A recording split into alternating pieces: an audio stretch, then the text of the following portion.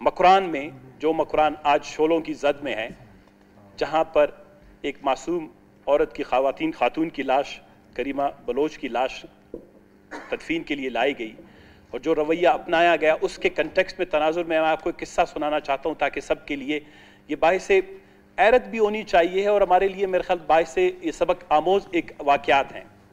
कोई तीन जनवरी अठारह सौ अठानबे को गोक प्रोश के मुकाम पर यही जो बकरान का इलाका है, पिदारक वहाँ के, उसके नज़दीक पहाड़ी एक वादी है, एक छोटा सा एक दर्रा है, जो पिदारक के करीब गोक प्रोश का।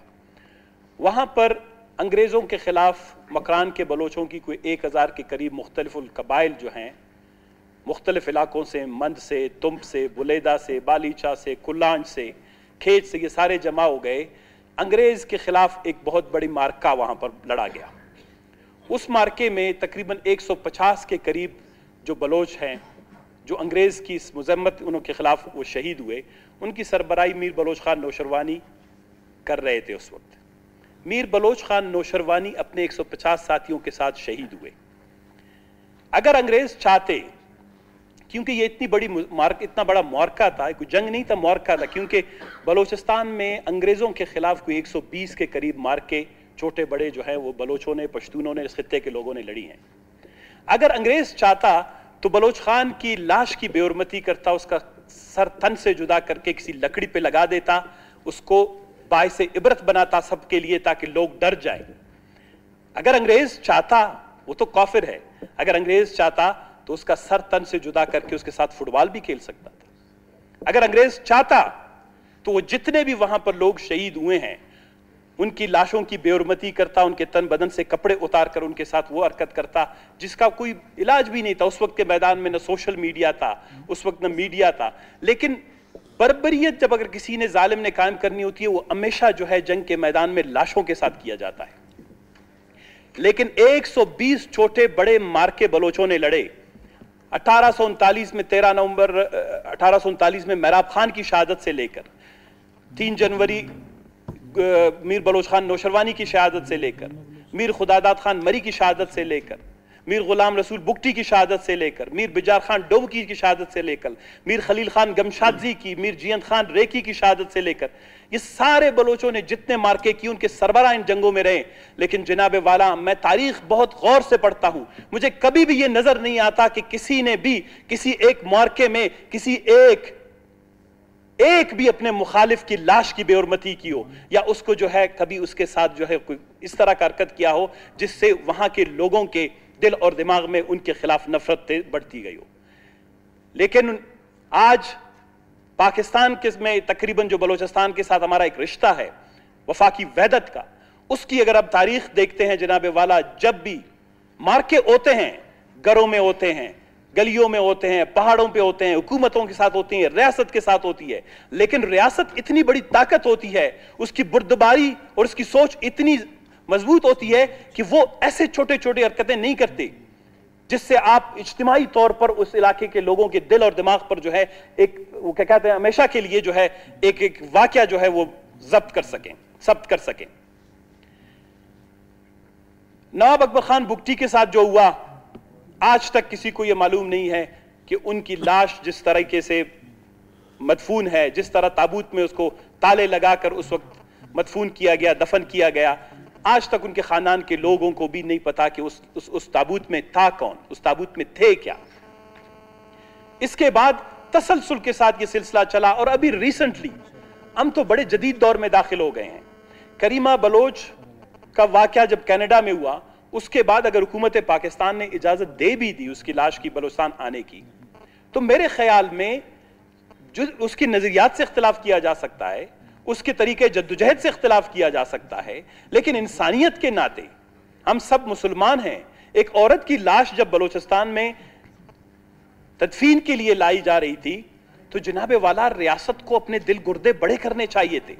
उसकी जिगर इतना बड़ा होना चाहिए था। अगर ये लाश वहाँ से, ये वहाँ से ले जा रहे थे, वहाँ से उसकी मैयत अगर कराची एयरपोर्ट से किसी जगह पर नमाज़ जनाजे के लिए ले जा रहे जा रहे थे तो हुकूमत को इसको फैसिलिटेट करना चाहिए था। उनको सहूलत फराम करना चाहिए था कि लोग अपने जज्बात का इजहार करें, क्योंकि रियासत के लिए बहुत ज़रूरी है कि उसको लोगों के जज्बात का इलम हो, कि लोग रियासत और हुकूमत के बारे में क्या जज्बात रखते हैं। लेकिन जनाब वाला, उसमें भी रुकावटें डाली गई। और जिस तरह वो क्या कहते हैं कि कॉर्डन ऑफ़ करके एक मैयत को वो गाड़ियों में जो है सीधा किसी को न जाने नहीं दिया गया, उसको मकुरान की तरफ़, उसके इलाके की तरफ़, तुम की तरफ़ रवाना कर दिया गया। रस्ते में लोगों के रास्ता बंद कर दिया गया। वहाँ पर मोबाइल के नेटवर्क्स बंद कर दिए गए।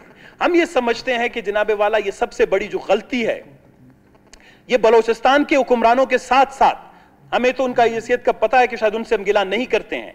लेकिन बलोचिस्तान के हवाले से पॉलिसी साज इदारों को हम ये बता देना चाहते हैं कि जो आपको ये छोटे छोटे मशवरे दे रहा है और ये छोटे छोटे फैसले जिस तरह के आप करते हैं और बदसूरत किस्म के जब आप फैसले करते हैं, आप बलोचिस्तान के लोगों के दिल और दिमाग जीतने की बजाय आप बलुस्तान के लोगों के दिल और दिमाग में जो है अपने लिए नफरत पैदा करने का बायस बन। हम इस वफाक में, हम हमेशा यह कहते हैं कि बलुस्तान के लोगों के दिलों पर बहुत से जख्म है। बलुस्तान के लोगों के सीनों पर बहुत से जख्म है। बलुस्तान का कोई ऐसा घर नहीं जहाँ पर मातम हो। बलोचिस्तान में कोई ऐसा शहर नहीं जहाँ पर इज्तिमाही कब्रें ना हो। हम हमेशा यही कहते रहे हैं कि रियासत को अपने दिल गुर्दे बड़े करने चाहिए।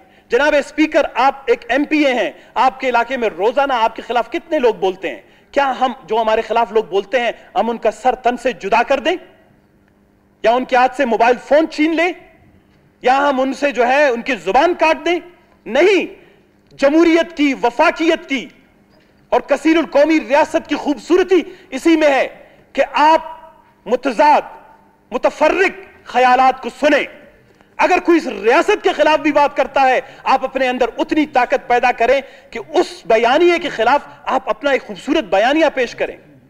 बलोचिस्तान में अगर एक बहुत बड़ा तबका वो हुकूमत और रियासत की पॉलिसियों से नाखुश है तो वो वजूहत जानने की कोशिश करें। बजाय कि आप वजूहत जानने के आप लोगों की जो है ज़ुबान बंदी करते हैं, आप तालाबंदी करते हैं सेल फ़ोन मोबाइल फ़ोन बंद कर देते हैं, सड़कें बंद कर देते हैं, कब्रिस्तानों पर कर्फ्यू लगा दे देते हैं। मैयतों को जो है कर्फ्यू की शक्ल में वहाँ एक इलाके से दूसरे इलाके में मुंतकिल कर देते हैं। कैसे आएगा बलोचिस्तान में? हमने लाशों के साथ 2021 में हमने बलोचिस्तान में मैयतों की ज़ोर बेरमती देखी है। हमारी तारीख में मैं खुदा जानता है ये पुराने पठे किताब मेरी लाइब्रेरी में मैं पढ़, पढ़ के निकालता हूँ कि यार कोई एक वाक्य मिले ताकि मैं बताऊँ कि पाकिस्तान ने जो हमारी स्टैब्लिशमेंट जो कर रही है वो सही किया उसने।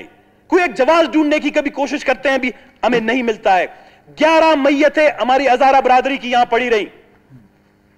छह दिन तक हमारी हुकूमत उन मैयतों को एहतराम और इज़्ज़त नहीं दे सका।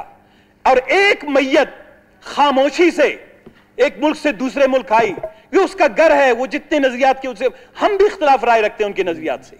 लेकिन कहने का मकसद यह है कि अगर हम हुक्मरानी पर होते तो हमारे दिल और गुर्दे बड़े होने चाहिए। हम अपने मुखालिफ को भी वो मोहब्बत और सहूलत दें ताकि वो कल हमारे नज़रिए का हमदर्द बन जाए।